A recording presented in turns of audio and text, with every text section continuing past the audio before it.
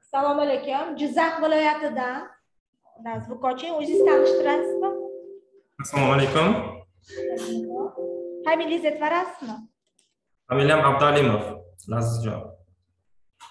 Так abdualimov lazizjon orqali значит innovatsiya rivojlanish vazirligi markaziy apparatga global reytinglar bilan ishlash bo'limiga bosh mutaxassis lavozimiga nomzodingizni bergansiz. Siz bilan hozir suhbat o'tkazamiz komissiya a'zolari kadrlar bo'limi boshlig'i hchmatova boshqarmamiz axborot tahlil strategiya rivojlantirish boshqarmasini boshlig'i jumayev farhod yuridik bo'limi boshlig'i egamberdiyev shuhrat aka и global reyting bo'limini boshlig'i rahmatullayev bunyodjon suhbat o'tkazishadi. O'zingizni tanishtirib qisqa ma'lumotni oxirgi ish faoliyatingiz to'g'risida gapirib o'tsangiz o'zingizni funksional vazifalardan kelib chiqqan holda и keyin ayni innovatsiya rivojlanish vazirligini nima uchun tanladingiz global reyting bilan ishlash bo'limini tanlab nima uchun nomzodingizni berganingiz to'g'risida gapirib tushunarli demak e, hozir aytib o'tganimdek abdualimov azizjon ismi familiyam o'zim jizzaxlikman yerda ovozingiz yaxshi kelmayapti misol o'zaro shekilli hop demak bakalavrda diplomatiyani tugatganman ikki ming yigirma birinchi yilda xalqaro iqtisodiy munosabatlar fakultetini ikki ming o'n to'qqiz yigirma birinchi yillarda birinchi mehnat faoliyatimni boshlaganman u mana shu ikki yil mobaynida toshkent shahar universiteti universitetida ishlaganman moliya iqtisod bo'limida. Ikki yil lazizjon bu ma'lumotlar bor. Hozirgi ishlayotgan joyingiz moliya vazirligidami da shunaqa. Shunaqa kapital bozorini tahlil qilish bo'limida bu jizzax viloyati moliya vazirligimi yo respublikami? Yo'q respublika markaziy apparatda. Markaziy apparatda. Jizzaxdasiz? Hozir jizzaxda отпускаdaman отпуска nimaga moliya vazirligidan ketmoqchisiz? Moliya vazirligidan moliya vazirligidan o'zi ketish niyatim yo'q edi. Moliya vazirligida o'zimga yoqadi. Faqat bizada bir bir oycha oldin departament direktorimiz ishdan ketdi. Bizni departament direktorimiz mani ishga olgan edi. Hozir bizada zam direktorimiz qolganlar ular bilan ozroq shaxsiy munosabatda muammolar bor edi o'shaning uchun. Ho'p lazizjon innovatsiya deganda nimani tushunasiz? Innovatsiya deganda o'sha yangilik deb bir so'z bilan aytsak bo'ladi. Ya'ni insonlarga foyda naf keltiradigan yangilik yangi g'oya o'shani innovatsiya deyishimiz mumkin. Innovatsion faoliyat sohasida oxirgi marta qabul qilingan normativ huquqiy hujjatlar. Qaysi birlarini bilasiz? To'g'risi bilmayman bularni chunki man bu sohada innovatsiya bo'yicha faoliyat yuritmaganman. O'shaning uchun bilmayman mana mani yana birinchi savolimga javob bermadingiz. Shuni e, ayting nima uchun tada vazirlikni tanladingiz? E, mana shu sohani global reyting bilan ishlashni и tanlashdan oldin baribir nomzod o'rganib chiqadi vazirlik nima faoliyat yuritadi. Baribir qayerda o'zini intilishi qiziqishi bo'lishi kerak o'shani gapirib o'ting. Aha demak e, biza innovatsiya vazirligiga qiziqish sabab vazirlik hali yangi vazirlik. И lekin juda ham faoliyat yo'nalishi qiziq va kelajagi bor vazirlik deb hisoblayman o'shaning uchun aytishimiz mumkin innovatsiyalar yangilik yaratish bu o'zimga qiziq soha hisoblanadi lekin global reytinglarni tanlaganimni sababi deb global reytinglar xorijliklar bilan ishlashni ko'proq yaxshi ko'raman hozirgi departamentimizda ham ishimizda ham mana shu narsasi o'zimga yoqadi ya'ni Э, bizada konsultantlar bor xalqaro konsultantlar. Э, biz o'zimiz bo'limimizda ham bor yo'ldan tashqari departamentda yana beshta bor. Ular bilan ishlash ulardan yangilik e, o'rganish o'zimga qiziqroq. Э, ularni tajribasini o'rganish juda yam foydali deb hisoblayman. Bu hozir global reytinglar bilan ishlash bo'limi ham e, o'ylashimcha bu asosan e, o'sha o'zbekistonning mana shu global innovatsiyalar indeksidagi o'rni bo'yicha faoliyat yuritadi. Ularni o'rnini ko'tarish va o'rnini yaxshilash bo'yicha ham faoliyat yuritadi. Ya'ni asosan o'sha chet ellik xorijiy mutaxassislar bilan ishlab ular bilan tajriba almashib yangiliklar o'rganish bo'yicha ham ko'proq shug'ullanadi. Hozirgi kunda o'zbekiston respublikasi global reytingida nechinchi o'rinda turibdi. Sakson oltida adashmasam. O'zi nima global innovatsion indeks qanaqa tushunchangiz bor bu haqida ham juda ko'p tushuncham yo'q. Aytishim mumkin. Bu indeks shu e, mamlakatlarda qanchalik e, innovatsiyaga beradigan e'tibori va o'zlarini yaratadigan e, o'sha innovatsiyalar yangiliklariga qarab beriladigan o'rin. Bu asosan shu global index output inputga qarab o'sha hisoblanadi ikkita hisob indekslar bo'yicha. O'shanga qarab o'rin beriladi. Moliya vazirligiga tegishli qanaqa indikatorlar global innovatsion indeks ichiga kirgan tushunmadim moliya vazirligiga qaysi indikatorlar tegishli? Aloqasi bor. Global innovatsion indeks sakson bitta indikatorlarni ichida? Bilishim bo'yicha payfi taxes degani bor adashmasam. Nima bor? Payfi taxes ya'ni soliqlarni to'lash bo'yicha. Yana bir nechta bor ular haqida aniq ma'lumotga ega emasman o'shaning uchun bular haqida javob osonroq savol beraman. Aynan e, sizni departamentingizga departament departamentingizga tegishli bo'lgan qaysi indikator bor? Kapital bozoriga tegishli bo'lgan. Kapital bozoriga tegishli bo'lgan. Именно siz departamentingiz mas'ul bo'lgan. Ну bu bo'yicha bilmadim. Bizada chunki bu indeks bo'yicha ishlamaganmiz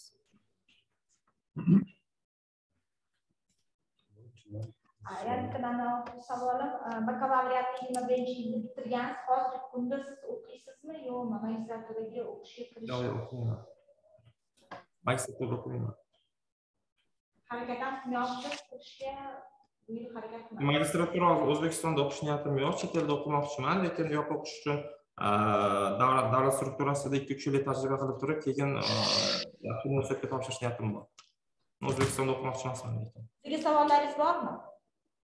Savollarim? Bu savollarim faqat sizlarni o'sha qaroringlardan keyin bo'ladi. Hozir savolim yo'q. Chunki agar sizlar olamiz deb hisoblasanglar savol berganimdan ma'no bor bo'lmasa ma'no yo'q. O'shaning uchun savolim yo'q. Mayli suhbat uchun rahmat. Suhbat natijasini e'lon qilamiz ho'p rahmat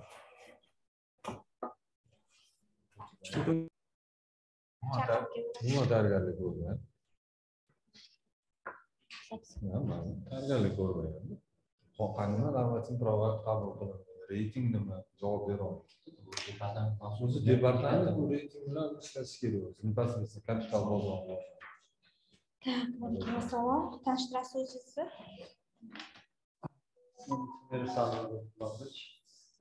так timur sardorbek global reyting bilan ishlash bo'limi bosh mutaxassis lavozimiga nomzodingizni bergansiz так oltmish besh foiz olibsiz suhbat komissiyani tanishtirib o'taman kadrlar bo'limi boshlig'i hajimat reyteri boshqarma boshlig'i jumayev farhod bo'lim global reyting bo'limini boshlig'i abdullayev bunyodjon va yuridik bo'limi boshlig'i gamberdiyev shuhrat aka qisqa o'zingizni tanishtirib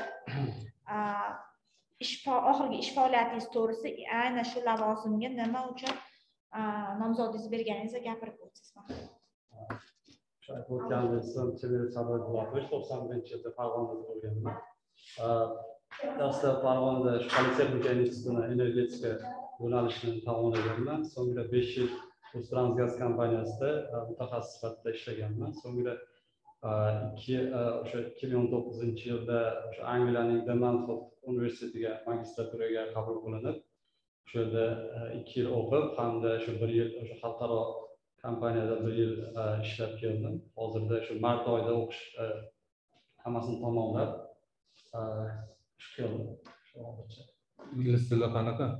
Ingliz tili xudo xohlasa yaxshi chunki ikki yil o'qish o'zi yo'nalish bo'yicha o'qidim sertifikat o'zi qaysi bo'limga nomzod topshirganligingizni bilyapsizmi nima degani reyting? Global global reyting bu dunyoda shunaqa kompaniyalar bor.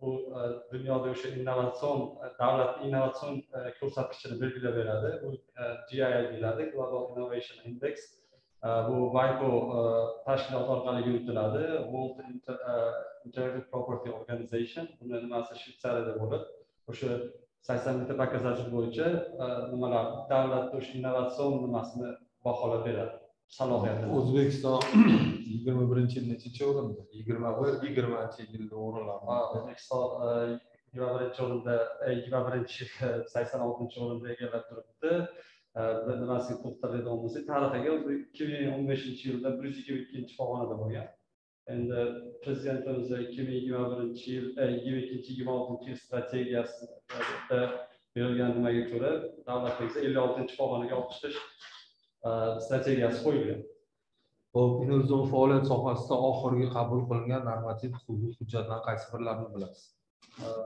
Normativ huquqiy hujjatlar oxirgisi prezident qarorlari demak uch yuz yettinchi qarorda bir yuz oltmishinchi prezident to'g'risida bu asosan o'sha o'zbekiston respublikasi innovatsion salohiyatini rivojlantirish bo'yicha nima qilgan va o'sha global innovatsion indeksdagi o'rnini yaxshilash bo'yicha aytib o'tganimdek shu ellik oltinchi yilga ellik oltinchi pog'onaga ko'tarish bo'yicha har yili yetti pog'onaga ko'tarilish bo'yicha aniq strategiyalar qo'yib berilgan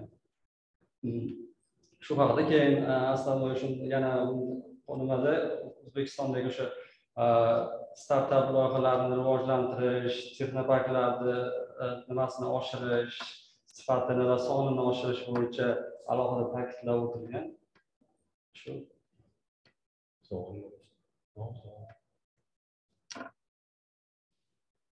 Global innovatsion indeksda nechta subindikatori bor?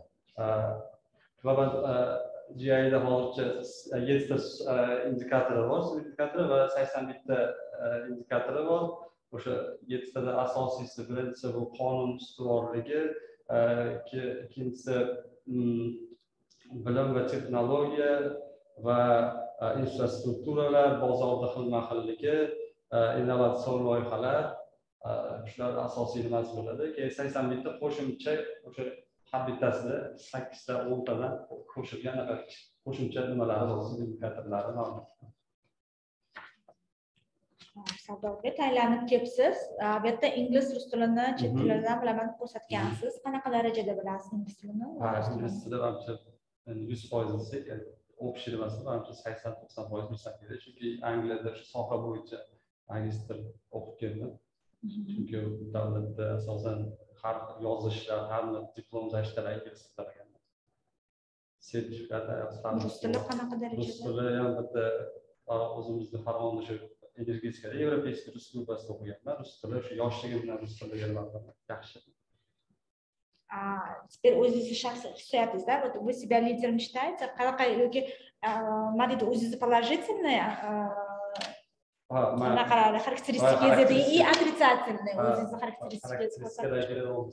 haqiqatda o'zimni lider bo'lishni xohlayman chunki o'zimni oldimga qo'ygan maqsadni erishmasdan qo'ymayman chunki o'sha ikki ming o'n to'qqizinchi yilda mana shu ishlab yurgan paytlarimda olti oyni ichida ayelts oldim o'zim oldimga maqsad qo'yganman shu angliyaga borib o'qiyman deb olti oyni ichida o'sha bu qisqa vaqt davomida ham ish bilan ertalabdan kechgacha ishdan keyin o'qib nima qildim shu maqsadimni qo'ygan maqsadga erishaman deb o'ylayman o'zimni xudo xohlasa bundan keyin ham shu mana shu innovatsion rivojlanish vazirligini yanada rivojlantirish va reytingini o'zbekistonnikini shu ikki ming yigirma oltinchi yilga ellik oltinchi pog'onaga chiqarishga o'zimni hissamni qo'shaman deb o'ylayman Хорошо. А отрицательные у вас какие Отрицатель- качества есть?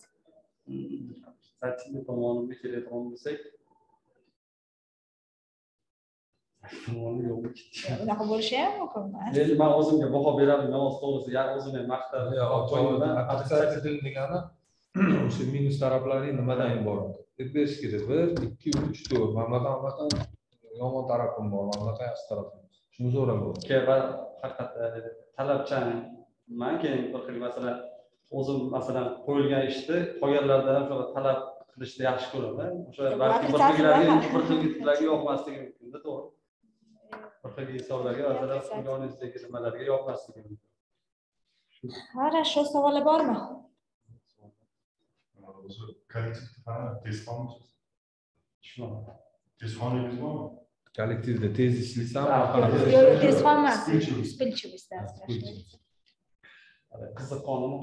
tez yonasan ham tez o'chasanmi yo'q. Kollektivdan tez tez til topishib ketaman keyin unaqa qiziqqonlik unaqa hissiyotim yo'q bo'ldi rahmat sardorbek suhbat natijasini e'lon qilamiz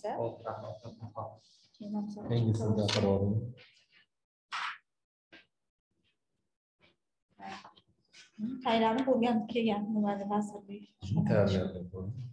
Так, следующий. assalomu alaykum keling marhamat familiyangizni aytib borasizmi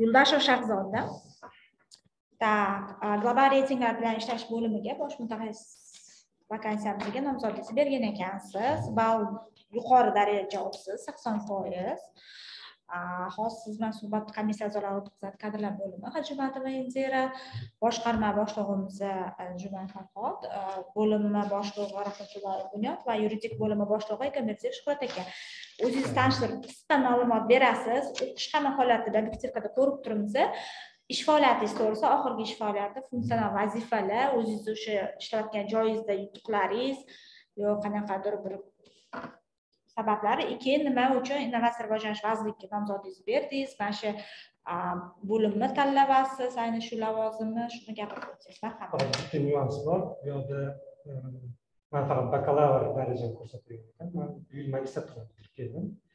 Qaysi yo'nalish xalqaro qaysi munosabatlar siyosatshunoslik va xavfsizlik masalasi bo'yicha u e, yevropada xavfsizlik va hamkorlik tashkiloti akademiyasida bitirdim bu sistemaga hali kiritilmagan qaysi davlatda bishkek qirg'izistonda filialida o'qigansiz. Man bu oxirgi ishlagan joyingizni Dastin MTJ direktori. Nima bilan shug'ullanib Bu yoqda asosan mani vazifam konsalting firma edi и turizm bilan shug'ullanardik bitta asosiy funksional vazifam dokumentatsiyalarni yuritish и chet ellik hamkorlar bilan shu kelgan mehmonlar bilan e, kommunikatsiya borish yozishmalar borish ulardan takliflar bo'lsa ularni o'zimizga olib o'rganib ularga javoblarimiz berish. Konsalting qaysi yo'nalishda? Turizm turizm. turizm. Nechta odam olib kelgansizlar turizm endi bu ikki ming o'n to'qqizinchi yil ochilgan e, firma edi. Shu bir yil davomida tashqi turizmdan e, ellikka yaqin odam kelgan ichki turizmdan adashmasam yuzga yaqin odam Qaysi davlatlardan? E, rossiyadan kelishgan qo'shni davlatlarimizdan kelishgan e, keyin afg'onistondan ham kelgan yevropeyskani o'zi Ular bilan faqat rus tilida ekanda переписка. Agar qo'shni davlatlar bo'lsa. qo'shni davlatlar и chet davlatlar bilan masalan e, afg'onistondan kelgan mehmonlarimiz ularni fondi usaid edi usaid bilan man bilan и bitta sherigim bor. USAID. Usaid ular moliyalashtirgan o'shanda kelgan tushundim. Global innovatsion indeks deganda nimani tushunasiz? global innovatsion indeks deganda mani fikrim bo'yicha bu davlatlar o'rtasida o'sha innovatsiyalarni joriy qilish ularni ishlab chiqarish e, ularni o'sha tijoratlashtirish shu bo'yicha davlatlarni reytingi O'zbekiston nechinchi o'rinda? adashmasam ikki ming yigirma birinchi yil sakson oltinchi o'rinda Undan oldingi yillar. Oldingi yillari o'zi vazirlikka faoliyat bilan tanishdingizmi? Va birinchi savolim nima uchun vazirlikni tanladingiz aynan shu vakansiyani e, mani o'zimda ozgina innovatsiyalarga qiziqish bor itga qiziqish bor. Shunga innovatsiya it ho'p innovatsiya siz tushunishingizda nima?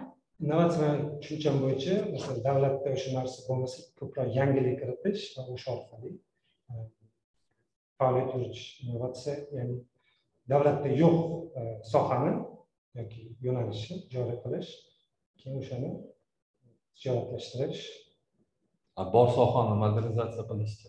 Innovatsiya modernizatsiya. Yangi texnologiya yangi texnologiya ya'ni o'sha yo'nalishga oldin yo'q bo'lgan narsani e, joriy qilish masalan qanaqadir yangi texnologiya innovatsiya sohasida oxirgi normativ huquqiy hujjat qabul qilingan. Qaysi birlarini bilasiz? Tanishib chiqqansizku uni vazirlikdan. vazirlik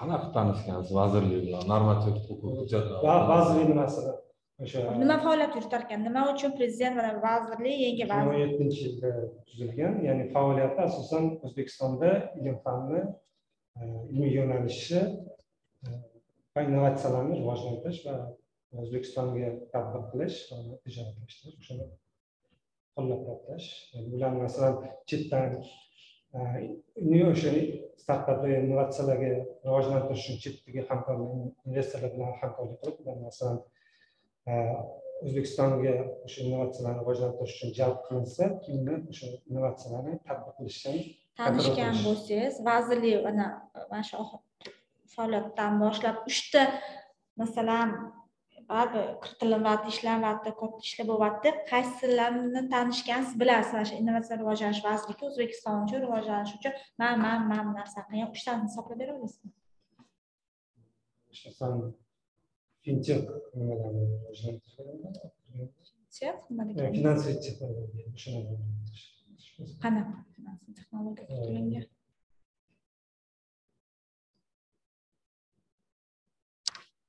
kiritilgan savol berib qolay turizm sohasida ishlagan ekansiz. Hozir global reyting bo'yicha manimcha tayyorgarlik unchalik emas. Turizmda qanaqa innovatsion mahsulotlar joriy etiladi turizm sohasida?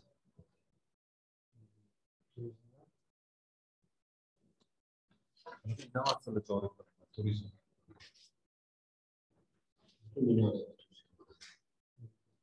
Dunyoda emas o'zbekistonda.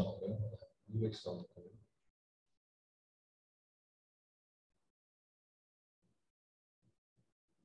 Mana bunaqa три d tur paketlar bor bilasizmi? Vr ochkini ochasiz kiyasiz taqasiz tur qilib kelasiz innovatsiyami bu innovatsiya emasmi innovatsiya adashmasam endi mayli qayerda bo'lsa ham endi turizm bilan shug'ullanganligingiz uchun turizm sohasida beraman misol uchun pastga tushsangiz kelgan bo'lsangiz oyoq tagida vr anaqa o'zi telefondan kirsangiz o'sha vazirlikni virtual aylanib chiqishingiz mumkin. Qaysi xonada kim o'tiribdi nima masalalar yechilyapti qanaqa institutlar bor? Bular ham bu innovatsiya startap loyiha ham innovatsiyaga kirib ketadi именно turizm sohasida qilingan ishlardan bittasi bu. To'g'rimi? Misol uchun har xil programma produktlar bor. App store play marketga kirsa qayerda tarixiy obidalar belgilangan turizm Karta. karta 3d mapping bormi? Ingliz tili qanaqa darajada? Ingliz tili oxirgi marta o'n to'qqizinchi dars topshirganman b ikki chiqqan o'n to'qqizinchi. Dars topshirganman. B ikki chiqmaydiyu там шесть семь шесть с половиной b ikki ingliz tili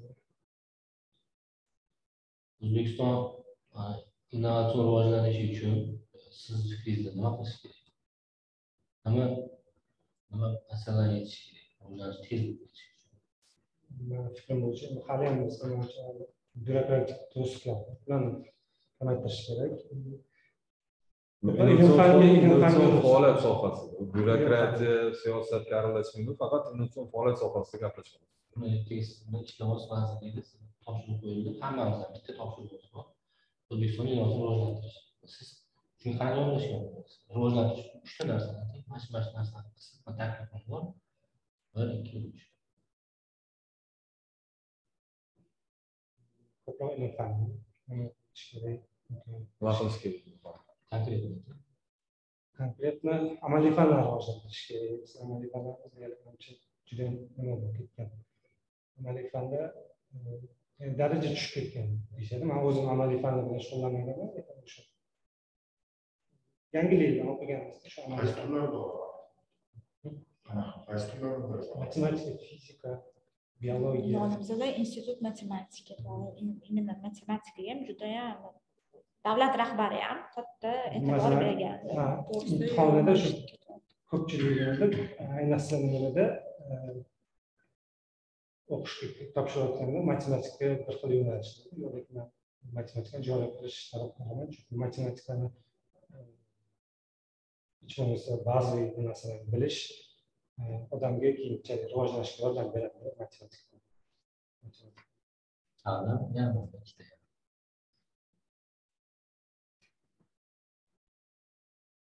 kommunikatsiyalarni rivojlantirish kerak masalan shu telegram boshqa o'zimizni platformalarimiz ishlab chiqishimiz kerak bular odamlar u telegram bot nima bu innovatsion faoliyatni bundoq bitta qanaqadir kichkina elementini u sizdan uchta asosiy ilm fan dedingiz tarmoq korxona hudud desangiz bo'ladi. Integratsiyasi ikkalasi. Ana o'shanda innovatsiyadan ikkita texnoparklarni ochish kerak o'sha tarmoq hudud deganda ichida infrastruktura kirib ketadi. O'sha siz aytganingizdek kommunikatsiya texnoparklar toshkent shahrida bor и har bir a, hududda viloyatlarda ochilmoqda samarqand farg'ona barcha hududda texnoparklar vazirlik tarafidan ochilingan undan tashqari it texnoparklari ham bor o'sha haqida balki yana o'sha chet ellik investorlar bilan turishni ishlash kerakdir это уже to'qson birinchi yildan beri ishlab kelinmoqda lekin qandaydir o'sha samarasi bor Bürokratiya qarshi kamaytirish kerak byurokratiya siz uchun sizni xayolingiz fikringiz nimada tushunasiz byurokratiya deganda masalan tizim tushunaman masalan ko'proq Процедура принятия решения nima kiradi O'sha- davlatni boshqarish umuman har bir sohani boshqarishiga qandaydir protseslarni nimasi tizimini tushunaman va o'shandagi ko'proq nima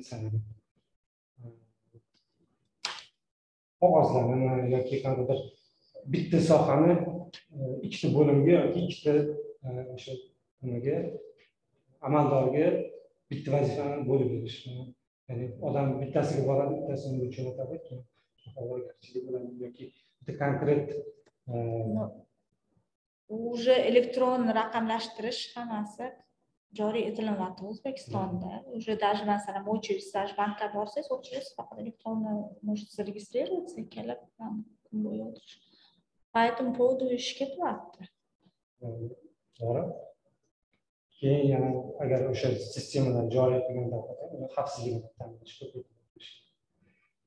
chunki har bitta o'sha e, o'sha sistemani ba'zi danasi qilish manimcha bizda hali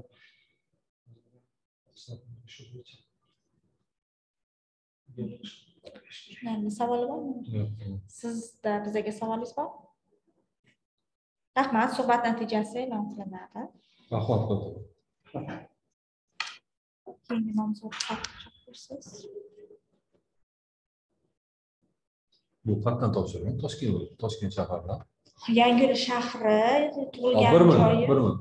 Gaplashib olaylik bir minut mana yangiyo'l shahri yangi yo'llar topshirgan.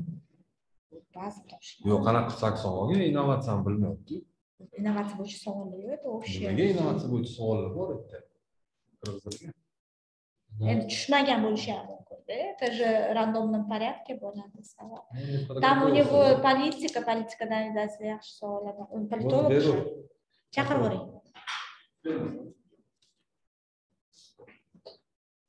uzr sal telefonimiz o'qamiz o'tiring familiyangizni yuborsangiz savayev global reytinglar bilan ishlash bo'limi bosh mutaxassis vakansiya lavozimiga topshiribsiz nomzodingizni komissiya a'zolari kadrlar bo'limi boshlig'i hojimatov idira tahlil va strategiya rivojlantirish boshqarmasi boshlig'i jumayev farhodbek global reyting bilan ishlash bo'limini boshlig'i rahmatullayev dunyojon va yuridik bo'limi boshlig'i kamilbek shuhratga suhbat qilamiz o'zingizni qisqa tanishtirib именно to'xtali ish faoliyatingiz to'g'risida oxirgi ish faoliyatingiz vazifalaringiz u yoqda o'zingizni yutuqlaringiz balki qanaqadir kamchilik nima uchun innovatsiya rivojlanish vazirligini tanlab shu lavozimni topshirganingizni ham gapirib o'tirsiz marhamat man jahon universiteti xalqaro aloqalar yo'nalishini bitirganman bakalavr magistratura?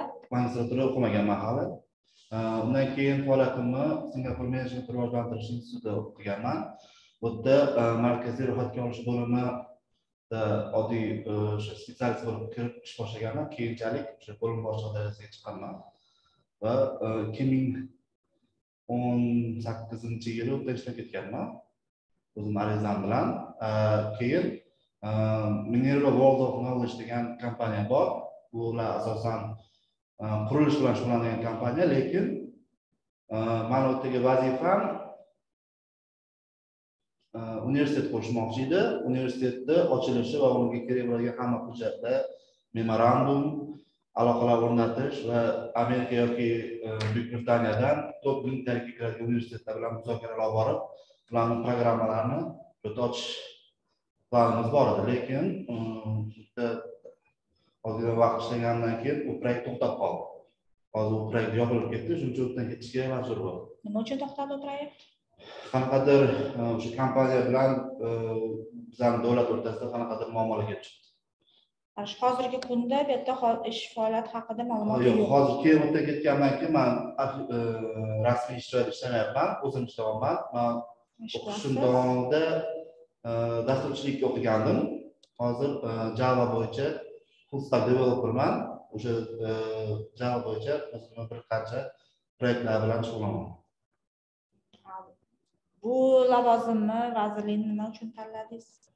Hop, e, bu lavozim endi man e, o'qigan vaqtimdan beri reytinglar bilan уже qiziqaman oliy ta'lim reytinglari yoki umuman global reytinglar haqida ko'p o'qiganman eshitganman va bu manga qiziq bo'ldi shu yerda ishlash. Ho'p, global indeks nima o'zi? Qachon tashkil etilgan? Kim tomonidan yuritilgan? Tushunchasini o'rgangan ekansiz reytinglar qiziqarli.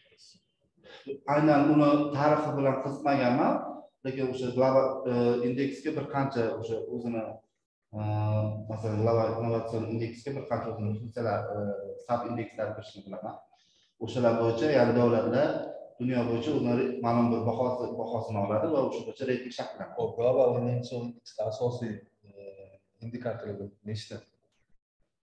Yettita yo sakkizta edi adashmasam hop u yerda bor edi tex- e, ilm fan va texnologiya davlat rivojlanishi bozor rivojlanishi hop O'zbekiston nechinchi o'rinda, yigirma birinchi. yigirma birinchi yilda sakson oltinchi o'rinda Yigirmanchi yilgacha. yigirmanchi yilda ro'yxatga kiritildi adashmasam Adashasiz. Uchinchi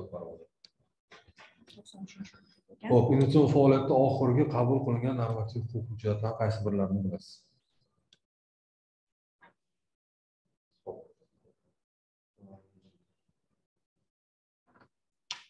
qabul qilingan qon ikkita qonunni o'rgandim Qaysi qaysi qonun?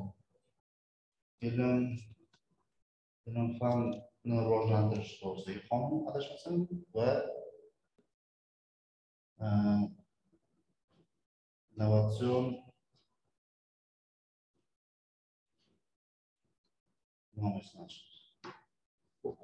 Faqat qonunni nomini o'qidingizmi, yo ichiga ham kirdingiz? ichiga ham kirdim. Nimalar yozilgan ekan innovatsion faoliyat qonuni? asosan o'sha vazifa belgilab berilgan vazifa nimalari funksiyalari ko'rsa bir marta yozib chiqilgan Nima funksiyalar berilgan? Hukumatga. Ha, hukumatga Eng tepasidan so'rayapman, on savol, konseptlarni. Hozir vazirliknigini aytsam, betonsiz bilaman. u- endi u- ko'p narsa yozilgan hozir yerda bosh tepada innovatsiyani tarifi ham yozilgan o'shani o'qib tushundingizmi misol tariqasida gapirib o'ting nima degan ekan innovatsiya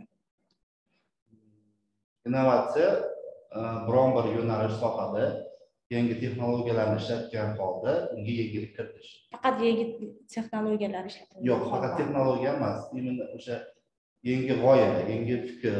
E, uni masalan oldin bitta ish bosh e, mani tushuncham bo'yicha qaysidir ish bir yo'nalishda qilingan lekin uni samaradorligini va ish anaqasini oshirish uchun yangi fikr yoki yangi g'oya bilan kirsa uni yana mukammalroq qilish.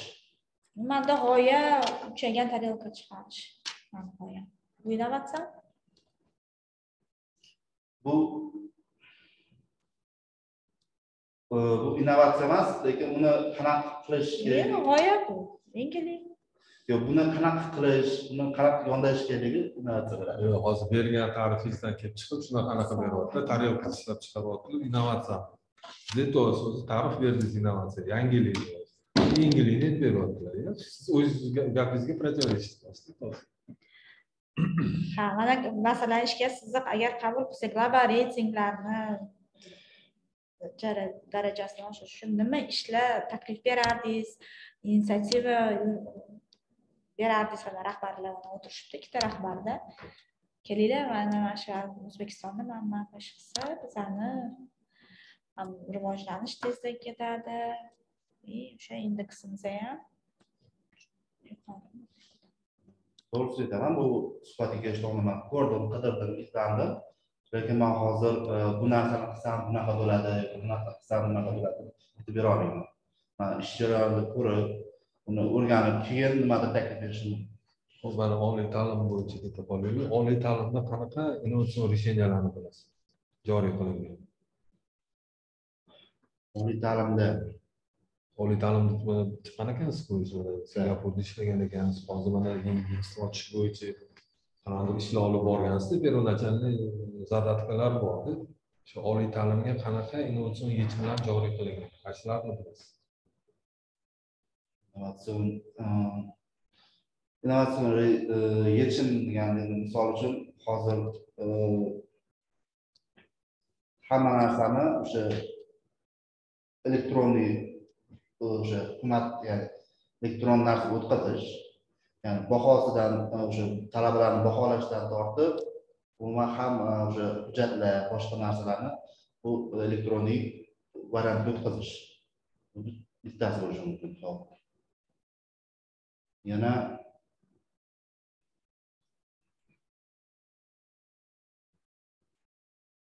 javani ishlayapman to'g'rimi o'qiyapman javada programma yaratsangiz bu ham innovatsiyaga kiradimi kiradi shularni aytsangiz bo'ladimi qancha dasturlar bor oliy ta'limda qanaqa interaktivniy dasturlar bor dasturlar hammasi innovatsionku hammasida masalan singapurskiyimizda ham e, o'zida internet dasturi bor edi keyinchalik biz o'sha programmistlar bilan yangi dastur ayni dasturni ishlab chiqqanmiz u o'zini o'sha har bitta uni- universitetda e, o'sha talaba kirishidan boshlab bitirib ketguncha bo'lgan hamma narsani o'z ichiga oladi. Ya'ni hamma ma'lumotlar saqlanadi hamma hujjatlari shu shu innovatsiyami? Joriy qilinganmi.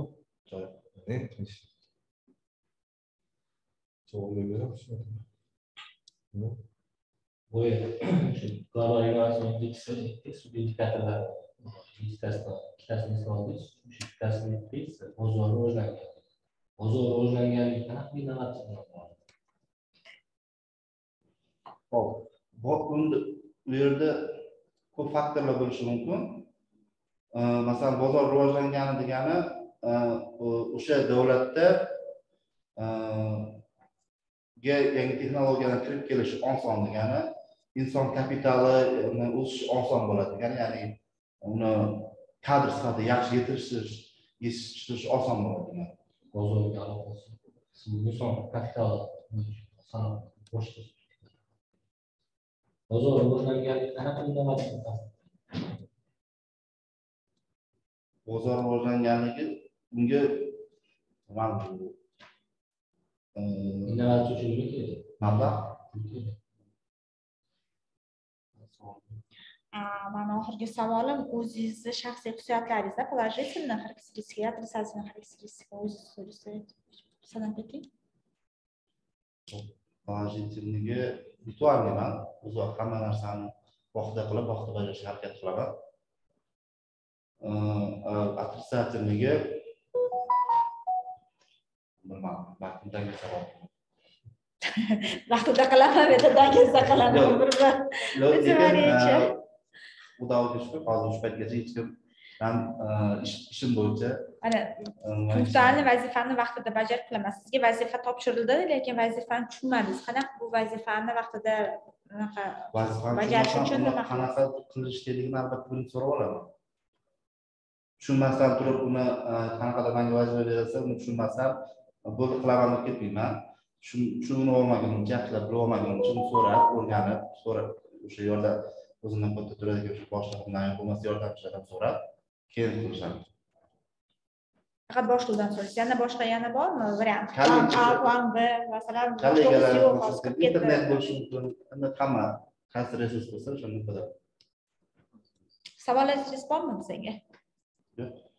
suhbat uchun rahmat suhbat natijasini qilamiz rahmat boshqa nomzodlik kelmadida safar A, ma'mur oltita nomzoddan to'rtta nomzod keldi ikkitasi aloqaga ham chiqishmadi trubka telefonni ham ko'tarishmadi ovozim bor. rahmat sizga ma'mur savol tugadi eshitilyaptimi ma'mur aka ma'mur rahmat Bu zapis to'xtatib bo'ldi zapis to'xtatib turing eshitildi bo'ldi